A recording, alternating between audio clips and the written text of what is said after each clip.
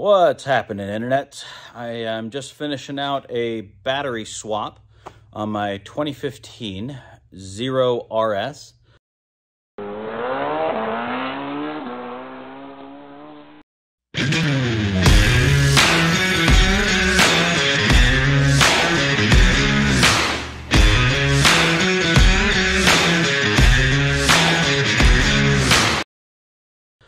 I picked this bike up at auction, and when I picked it up, it had a, uh, it seemed like a good battery, but as soon as I took it down the road about a mile and a half, it would go from 80% to 50% to zero, and the bike would just stop.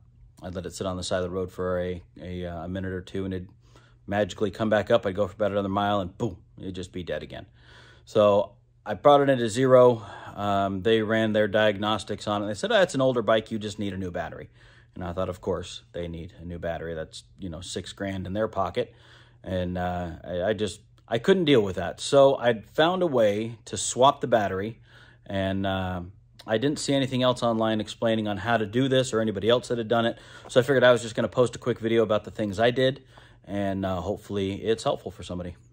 All right, let's just start with the, uh, the overall overview of what it looks like when it all comes apart. Uh, this is your pretty standard ZF 12.5 battery pack. Uh, very standard. The mystery to me that I could not find online is how this thing was held in and how it connected to the rest of the bike and what was entailed. Turns out it's actually really simple. This right here is your main connector.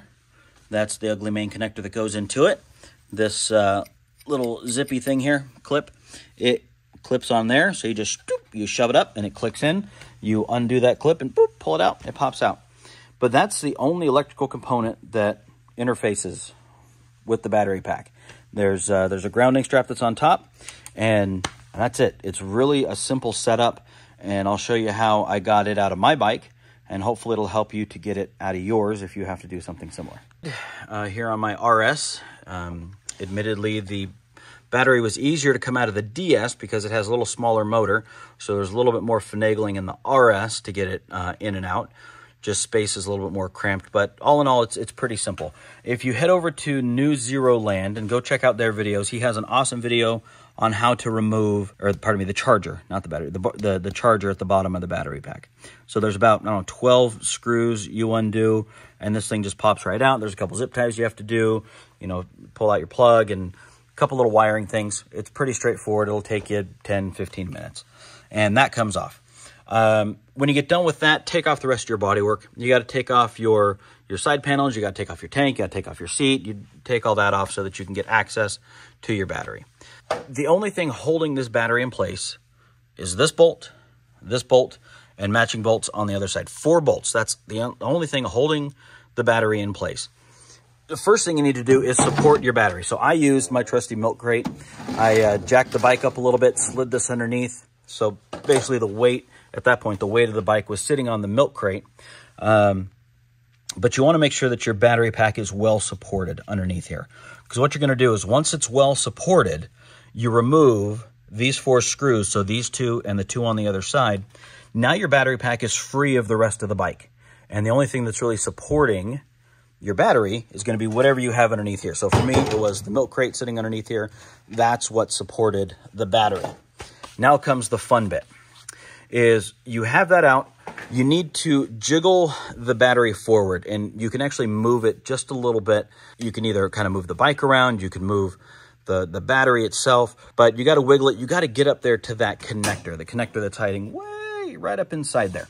So let me zoom over to the one that I came apart and I'll show you how that works. I would like to pause here for one second and just to review a couple of safety items before we go much further make sure your battery, your obviously your bike is turned off. Everything's discharged. On the unofficial Zero manual, there's a, an article in there about how to um, discharge the system, make sure that there's no energy going through it. It's, it's really simple. Um, one of the things, obviously, make sure your key is off, make sure everything's unplugged, make sure it's been sitting for a while so everything's discharged and nothing's kind of lingering in the system. You got coils and capacitors that are holding energy and things. You want to make sure that they're, they've had time to dissipate.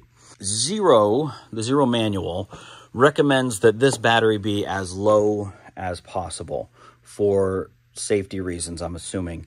Um, what I what I believe is that they say safety-wise, you want this to be as low as possible. So if you do happen to short something, you do happen to to drop it, to shock, to anything, you have a much less likelihood of getting electrocuted, of having an explosion, of, of doing any serious damage to yourself or your surroundings.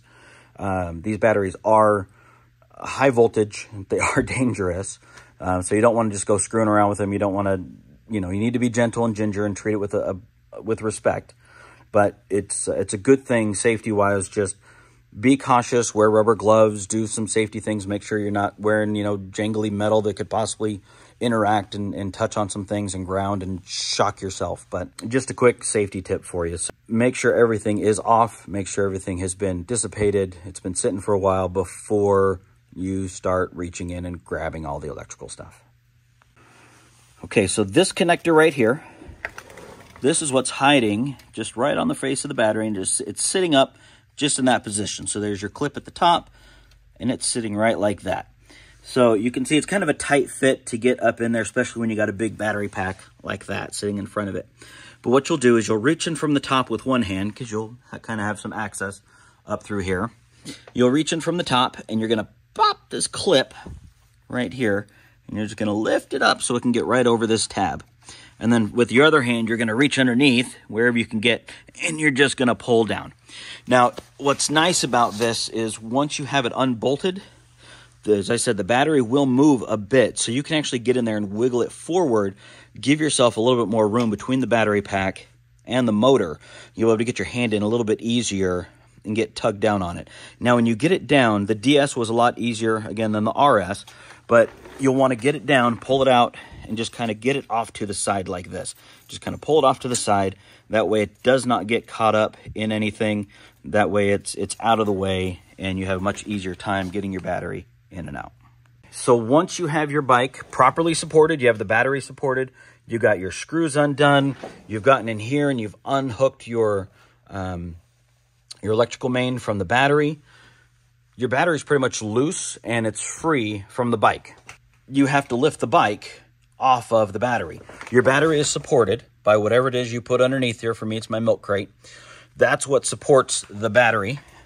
And now you get to lift the bike off. For me, it was a little bit easier. I have a, a, winch in my rafters, and so I was able to hook the winch up. I hooked it up um, through here, and then I, I got a good spot up in here, and I was able to lift the whole thing up while also letting my table down a little bit. Now, I know not everybody has access to a winch or has access to a lift table.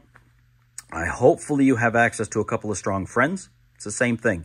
I used to do this with the uh, 73 Super Beetle I had. You got to um, remove the engine. You mount something underneath the motor, just like we're doing with the battery to keep it stable and secure. You undid the bolts, and you were literally able on the back of a Volkswagen just to lift up the back of the Volkswagen, move it forward, and just set it down, and you lift the car off of the motor. So this, you can actually lift the bike off of the battery. So if you have a couple strong friends, you can actually get a couple on the back, couple on the front, and they can lift while you kind of jiggle the battery and make sure that everything is loose and nothing's getting caught and you can just lift the bike right off and set it to the side. You're good to go. But that's the key. And I'll show you, here's a picture of how I um, had it hanging. So I had the, the bike in the air. This is actually the DS. Had it in the air, and uh, that's everything underneath it. So um, it was it was fairly straightforward. It's not it's not that complex to do. I'm going to pause for a second right here. I have to give a huge shout out to the guys down at Euro Cycle. They're in Fort Worth, Texas. So if you happen to be down this way or you live in the DFW area, go down there, take a take a trip. If you're looking for a new bike or whatever, they're really fair. They're really good guys. Um, I highly recommend them. I take my Ducati there for service. And um, if my Zero in the future needs service, I'm definitely going to take it to them. They're not paying me for this in any way, shape, or form. I have paid them lots of money, uh, but it's been worth it. They've been really great guys. Tony is the owner and he is is nothing but friendly and willing to help and their their staff is excellent. So if you get a chance go down there. I i called up and i talked to him. He happened to have this ds uh, in his back room. It had been sitting there for a while. Uh, the guy who he got it from uh, hit a curb or a wall or something. You can see that's a big crack in the frame right there. There's a, a twin to that crack on the other side of the frame. So this bike was shot. It was he couldn't use it for anything And I told him I was going to be using it for parts and what I needed. And he's like, no, it'd be perfect for you. Super friendly guys. So if you get a chance, go check out uh, Eurocycle in Fort Worth. Okay, so now when it is time to reinstall your battery, it's fairly straightforward. Um, just like we did before, you're going to need to suspend your bike or you're going to need to uh, lift it up in some way, shape, or form. You get your battery on a stable surface where it can sit and not be uh, not interfere with anything, and then you just lift your bike up and set it over the battery. It's really that straightforward. As the battery goes in, you'll have a little bit of room. Um, you can keep it forward just a little bit, and you'll have a bit of room that, again, it makes it easy to just reach in with this, bah, plug it in, you plug it into there, down there, and that's it. You slide it up until you get your um, bolt holes lined up underneath. It may take a little finagling. You'll have to wiggle it around a bit to get it to, to line up just right. You just bolt it in and you're good to go. Put your charger back on, wire it all back up, and then put your body parts back on and you'll be set to ride. So if anything I said has made you feel uncomfortable or make you think that you can't do it or it's a little bit above your capabilities, don't. Take it to a dealer, let them do it. Um, they definitely have all the, the proper tools and maintenance and, and books and things from zero to, to do it the right way. Again, I haven't, I didn't have any issue with it. I'm in no way, shape or form an expert mechanic or ex, this is my first time dealing with a zero. I hope this video has helped some of you out there to understand how the battery pack goes in and out, uh, how it interacts with the zero, and how you can do it on your own if you are daring. Uh, thank you guys. Have a great day.